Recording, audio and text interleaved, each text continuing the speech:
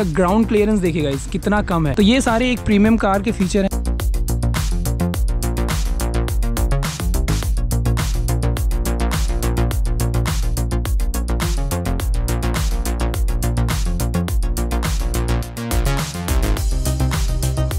Model 2013 तक का यही मॉडल आया है। तो इतना सक्सेसफुल मॉडल रहा है ये कि 13 सालों में भी इस मॉडल को बदलने की कोई ज़रूरत नहीं पड़ी।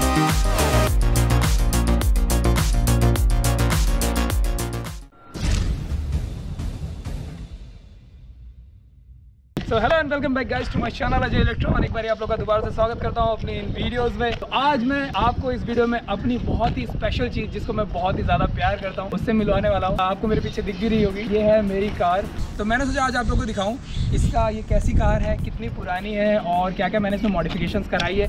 वो सब आपको दिखाऊँगा, कितने में कराई है।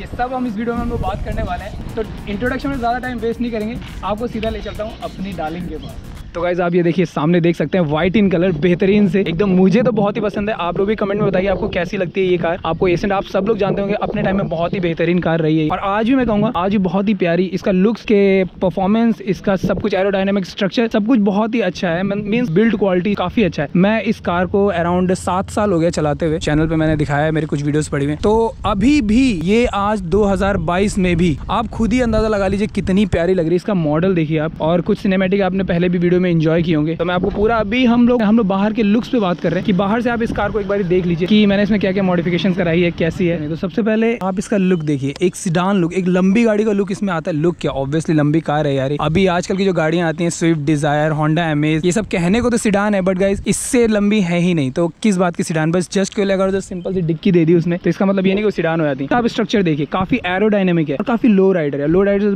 गाइज़ बहुत सारे फ़ायदे होते हैं, आप समझ रहे हैं। गाड़ी पलटने का बहुत ही कम चांस होता है कि गाड़ी कभी आपकी पलटे वो सब फ़ायदा होता है कि अगर आपकी गाड़ी लो राइडर है मीन्स इसका ग्राउंड क्लियरेंस देखिएगा इस कितना कम है तो ये सारे एक प्रीमियम कार के फीचर हैं ये अपने टाइम पे अराउंड 2000 में 2000 में आई थी और ये 2013 तक इसका लास्ट मॉडल 2013 तक का यही मॉडल आया है तो इतना सक्सेसफुल मॉडल रहा है ये कि मतलब आप समझ रहे हैं तेरह सालों में भी इस मॉडल को बदलने की कोई ज़रूरत नहीं पड़ी Oh God, here goes. I lost all feeling from my head to my toes. You said some shit that I can't let go. So just stay tuned for the rest of the show.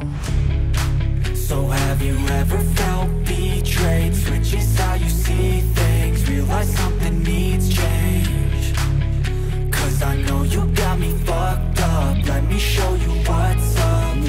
fully aerodynamic tyre अच्छा 1.6 litre का engine है इसमें। आ, आता तो 1.5 litre का है but मैंने इसमें इंजन डलवाया था 1.6 लीटर का। दूसरा इंजन डलवाया था एसेंट वीवा का। होंडा एसेंट वीवा एक आती थी उसका इंजन डलवाया था। उसकी वीडियो का लिंक मैं आपको आई बटन में दे दूँगा आप लोग देख लीजिए अगर और गाइज़ अगर तो मॉडिफिकेशन की बात करूँ मॉडिफिकेशन में बहुत ज़्यादा मॉडिफिकेशन मैंने नहीं कराई है। सिंपल सा आप देख सकते हैं ये जो मैंने मस्टैंग स्ट्रिप्स लगवाई है ये मैंने दिल्ली में लगवाई थी। ये मुश्किल से दो हज़ार की पड़ी थी जो ब्लैक कलर की स्ट्रिप्स देख रहे हैं। ये दो हज़ार की दिल्ली में कराई थी। बाकी अपना ब्रांडिंग किया है यहाँ पे यूट्यूब का अजय इलेक्ट्रॉन बोला आप देख पा रहे हैं। ये नौ सौ रुपए में हो गया था। चारों तरफ़ ब्रांडिंग हुई है डोर में हुई है, शीशे में हुई है, इस साइड भी है और प्लस पीछे की साइड भी है। तो ये चार अगर ऐसी कुछ ब्रांडिंग आप लोग को भी करानी तो मैं बता रहा हूँ, नौ सौ रुपए में हो जाएगी। ये मैंने लखनऊ से ही कराया था। स्पॉलर डलवाया था। स्पॉलर का मुझे एक्जैक्ट रेट भूल गया शायद ढाई तीन रुपए का था, ये जो पीछे स्पॉलर आप देख रहे हैं। और जो एक इस गाड़ी का लुक बदल देती है, वो चीज़ है इसके आउटस्कर्ट्स ये जो आउटस्कर्ट्स दिख रहे हैं नॉर्मली आपको एसेंट में देखने नहीं मिलेंगे। ये जो आप देख रहे हैं आउटस्कर्ट्स और समझते हो, ये जो इसके ऊपर ये लगा हुआ है और नीचे ये स्ट्रेट ये मैंने यहीं पे मॉडिफाइड कराया था। ये मेरा पूरा हुआ तो लगा था, आठ हज़ार रुपए में लग गया था। ये इंडिका वी जो आती है, उसका निकाल के इसमें फिट करवाया था। तो इस, उसकी वजह से भी थोड़ा सा इस गाड़ी का लुक और अच्छा हो गया। मुझे अच्छा लगता है पर्सनली अपने। वैसे बाकी आप लोग बताइए कमेंट में आपको कैसा लग रहा है। तो ये सारा इंडिका वी से हमने निकाल के इसमें लगवा लिया था। तो थोड़ा सा इसका मॉडल बदल गया। तो ये तीन चार इंपॉर्टेंट मॉडिफिकेशन इसमें करवाई थी।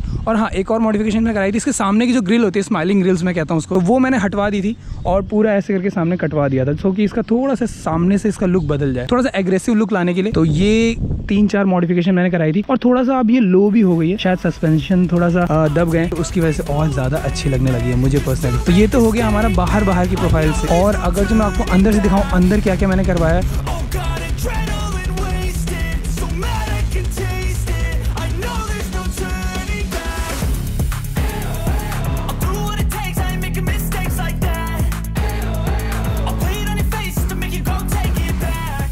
तो वैसे अगर जो अंदर से बात करें हम लोग। अंदर से मैंने केवल इसमें म्यूज़िक सिस्टम अपडेट कराया था। आज से पाँच साल पहले जब मैं दिल्ली में था, तब मैंने इसका म्यूज़िक सिस्टम अपडेट कराया था, जिसमें मैंने लगवाए थे ट्विटर आप सामने देख पा रहे होंगे। कोई ब्रांडेड नहीं है नॉर्मल ट्विटर है। किसी सोनी के पैनासोनिक के नहीं एकदम नॉर्मल वाले क्योंकि लगाते टाइम उस भाई ने बता ही दिया था कि नॉर्मल वाला लगाओ काफ़ी अच्छे हैं। सस्ते ही पड़े थे मुझे। अभी एक्जेक्ट इसका रेट भूल गया। और पीछे मैंने म्यूज़िक सिस्टम में बेस ट्यूब रखवाया हुआ है। मैं आपको बेस ट्यूब दिखाता हूँ। बेस ट्यूब लेकिन मेरा गाइस फुल साइज़ का है। ये देखिए, आप देख पा रहे होंगे। ये बेस ट्यूब रखा है। काफ़ी फुल साइज़ का ऑलमोस्ट पूरी डिग्गी भर जाती है। जैसे जितना बड़ा सिलेंडर होता है सीएनजी का, उतना बड़ा बेस ट्यूब है जेबीएल का बेस ट्यूब है और अंदर पैनियर के स्पीकर है। बाकी जो इसके अंदर के स्पीकर है, जो स्टॉक स्पीकर आते हैं, वही काफ़ी अच्छा साउंड देते हैं। और म्यूज़िक सिस्टम अगर जो आपको सुनना है तो मैंने इसकी डेडिकेटेड वीडियो अलग से बनाई हुई आप उसको जाके देख सकते हैं। डिस्क्रिप्शन में लिंक दे दूँगा, उन सब वीडियो को देख सकते हैं। बाकी सीट कवर्स लगाए थे, अब तो काफ़ी पुराने हो गए। Red and black in colour थे। ये देखिए, काफ़ी पुराने हो गए बट ठीक है स्टिल काफ़ी अच्छा लग रहा है लुक तो फाइनली गाइस यही सब था आज की वीडियो में। उम्मीद करता हूँ आपने इस वीडियो को पसंद किया होगा, आपने मेरी गाड़ी को भी पसंद किया होगा। जरा सा भी किया हो तो लाइक ज़रूर करिएगा, ठीक है? और आप लोग को भी ऐसी कोई मॉडिफिकेशन कराई नहीं होगी। तो मैंने बता ही दिया कहाँ से इंडिका वी टू से, कहाँ से बेस ट्यूब है क्या क्या स्ट्रिप्स लगी है, कितने में लगी कितने पैसे में लगी वो सब कुछ आपको बता दिया। आप लोग भी करवा ही लीजिएगा। क्योंकि गाड़ी आप कौन सी खरीदते हैं, उससे मतलब नहीं रखता। आप किस तरीके से रखते हैं उसको, वो चीज़ मायने रखती है कोई भी गाड़ी हो। बढ़िया से मॉडिफाई कराइए। और हाँ मैं एक चीज़ आपको फ्री में सजेशन देना चाहूँगा कि ऐसी कोई मॉडिफिकेशन मत करवाइए जिससे आपके इंजन पे लोड बढ़े या फिर आप अंदर के इंटरनल स्ट्रक्चर जैसे हो गया वायरिंग और इन सब पे ज़रा सा भी फ़र्क पड़े, वो सब बिल्कुल मत करेगा बाहर की मॉडिफिकेशन जो कि मैंने सारी बाहर बाहर की करा रखी है। जैसे कि केवल टेपिंग कराई, बाहर का आउटस्कर्ट्स लगवाया है स्पॉयलर लगवाया है, एक म्यूज़िक सिस्टम रखवाया है, बस। कुछ लोग लाइट्स लगवा लेते हैं, बहुत सारे अंदर इधर उधर वायरिंग कट हो जाती है, उसमें काफ़ी दिक्कतें आने लगती हैं बाद में। तो ऐसी मॉडिफिकेशन मत करवाएगा सिंपल बाहर बाहर की ऐसी जो कि इंजन में फ़र्क न डाले और गाड़ी की वायरिंग पे फ़र्क न डाले।